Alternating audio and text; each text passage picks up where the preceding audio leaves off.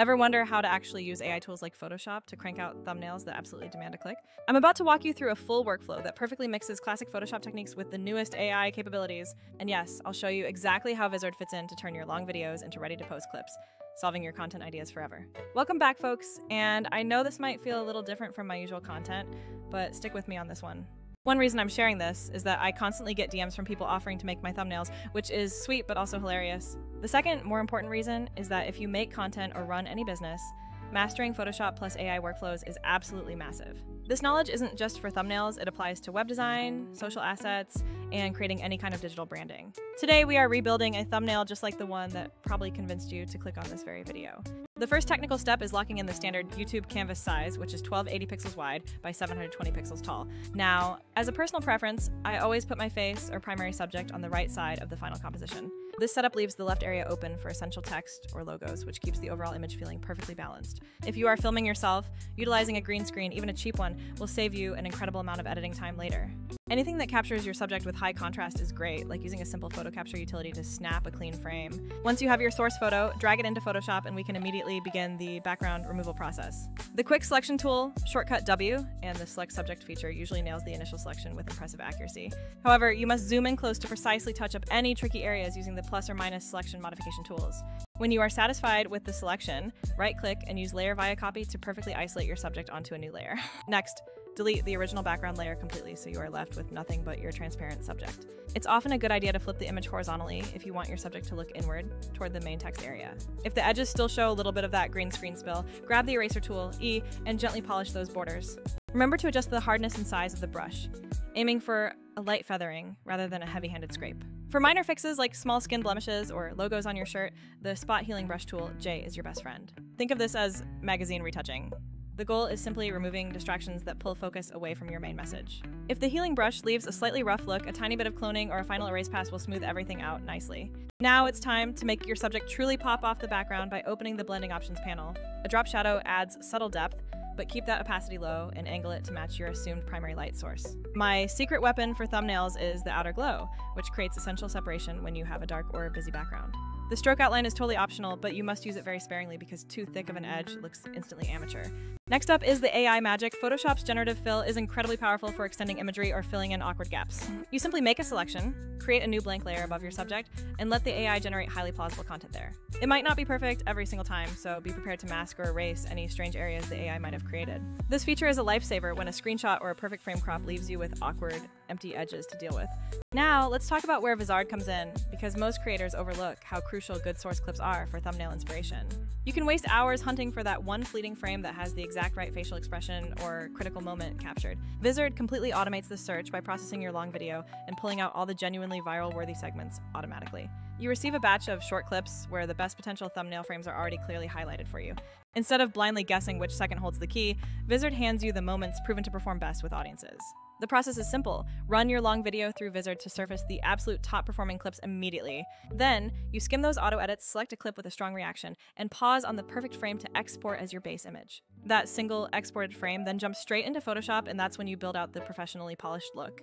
This means you're starting with a great subject, then adding your clean background, the essential glows, shadows, and logo placement. Speaking of logos, I always place a small Photoshop created logo or product mark to clearly signal the video's specific topic. If you pull a screenshot or an exported clip that happens to be low resolution, don't panic because upscalers can help significantly. I often upscale any background elements or logos before compositing them, then use a mask to integrate them perfectly.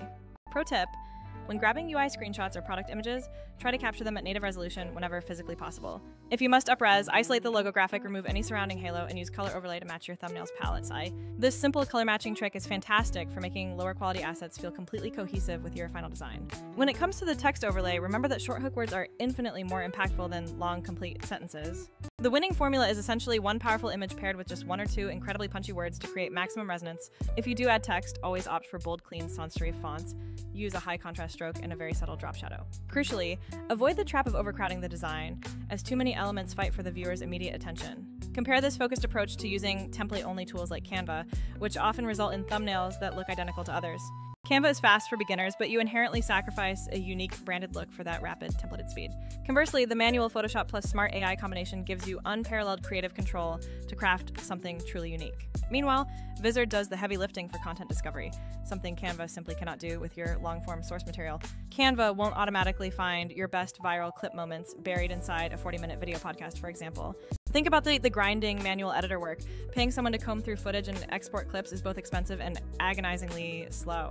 Vizard eliminates that entirely by auto editing to find the viral parts and immediately producing those short, ready to share clips. This efficiency matters immensely when you are trying to repurpose that content across TikTok, Instagram Reels, and YouTube Shorts simultaneously. The auto schedule feature is another massive time saver, letting you set a posting frequency without manually queuing every single upload. It creates the difference between sporadic content bursts and running a consistent, reliable content production engine. And having the content calendar in one place, clips, captions, and schedule, makes maintaining that posting rhythm manageable. Returning to the thumbnail, once your Photoshop composition is perfect, resize and review it at about 10% zoom.